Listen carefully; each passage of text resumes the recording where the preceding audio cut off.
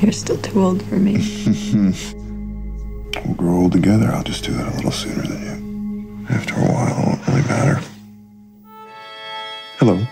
How are you? Walter, there is someone in my mind. I'm trying to figure out who it is. It's just me.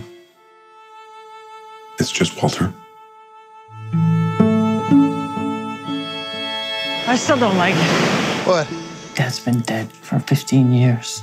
Does it bother you that your mother's talking to a computer program or that a computer program is pretending to be your dad? Well, you're a good Walter, either way. Thank you. Creeps me out. It's how she remembers him. I don't want to get you in trouble. You learn I like that. She's nicer to that thing than she is to me. It's your father that she's being nicer to.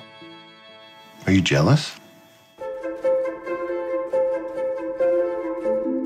Your poor old mother was born in the 20th century. Try to be patient with me.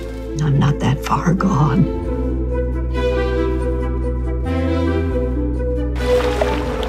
When you remember something, you remember the last time you remembered it. So it's always getting fuzzier, like a photocopy of a photocopy. I'll remember that now. Do you have emotions or do you just remember ours? You're a fine woman, Marjorie. Emma.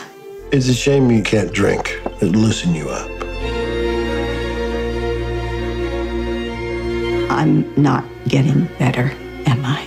Walter. No, not you. I don't want you. I want Walter.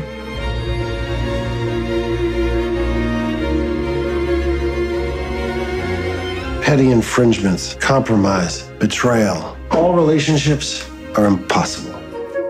Oh, Marjorie. The things you forget.